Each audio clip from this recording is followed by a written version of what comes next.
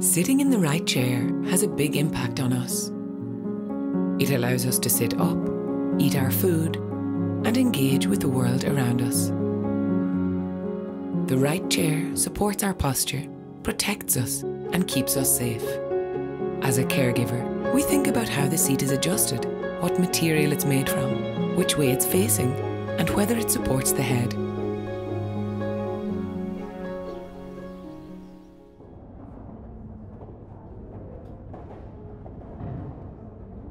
Sitting in the wrong chair can have a big impact on us.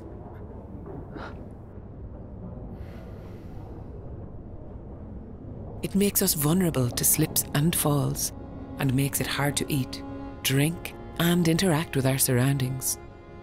Those living with dementia often spend long periods of time in poor seating, seating that makes them feel disorientated, agitated, and distressed.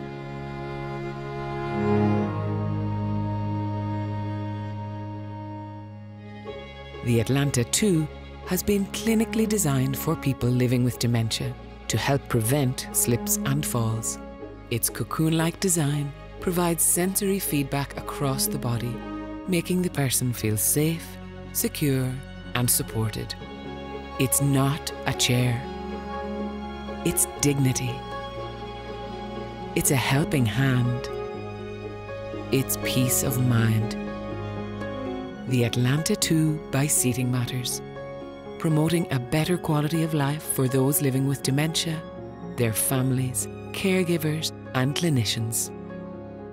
To find out more or book a consultation, visit seatingmatters.com slash dementia.